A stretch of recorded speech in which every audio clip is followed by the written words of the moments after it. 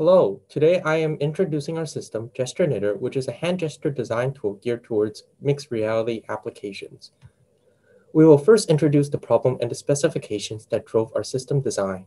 Then we will detail the implementation of our approach and conclude with an overview of the evaluation.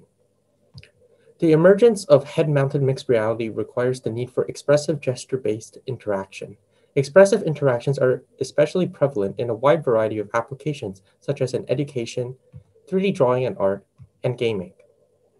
However, there has been a lack of focus on protocols explicitly aimed at the designing hand gestures. Current approaches involve deep learning techniques for directly developing recognizers, which is data intensive. In contrast, we aim to design a system enabling the design of expressive hand gestures, encoding them into recognizers while being low data intensive to enable rapid prototyping. We are motivated by a similar system, GestureScript, which focuses on interactively designing 2D unistroke gestures with rendering scripts. We take a similar approach for hand gesture design. To meet our specifications, we take a software engineering approach to promote reuse. Specifically, we created a visual declarative script, allowing designers to create complex expressive gestures by concatenating simpler gestures.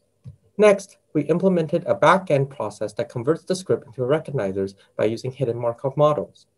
We also have a lightweight method of generating synthetic samples to aid in training the recognizers from a Bayesian preference gallery approach. For our script, we first divided hand gestures into two separate components, the gross component, which is the motion of the center of mass of the hand, and the fine component, which consists of the movement of the fingers. For example, gross gestures include forward and right, and fine gestures include thumbs up and pointing. We term these gestures as primitive gestures. Our visual declarative script concatenates these primitive gestures node by node to create a complex gesture. We, we enable designers to place the nodes sequentially as well as loop a particular node.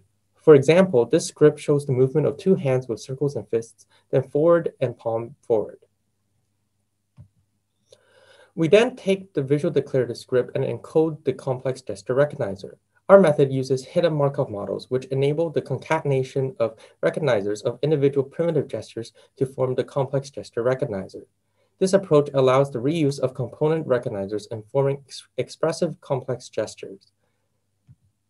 Our approach so far relies on the assumption that we have recognizers available for the gross and fine primitives to build the complex gesture recognizers.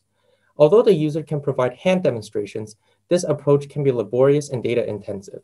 To alleviate this, we implemented a synthetic data generator using a preference gallery, which can aid in the training process. The user can select which of the two options generated to put into the training dataset, which adds sufficient perturbation. We also included additional tools to aid the designer in the design process. Our decoding mechanism allows the input of a complex gesture demonstration and automatically generates the visual declarative script. In addition, we provide a discernibility tool to notify designers if two gestures declared are difficult to discern, to discern from each other. We evaluated gesture knitter's potential with an evaluation of the recognition rates using data we collected from participants using the HoloLens 2. Here evaluated are the train on all, cross-validation between participants, and synthetic data accuracy rates.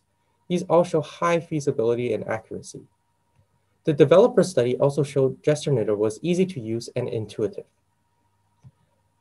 Gesture Knitter therefore allows designers to expressively design novel and expressive hand gestures while having low data overhead.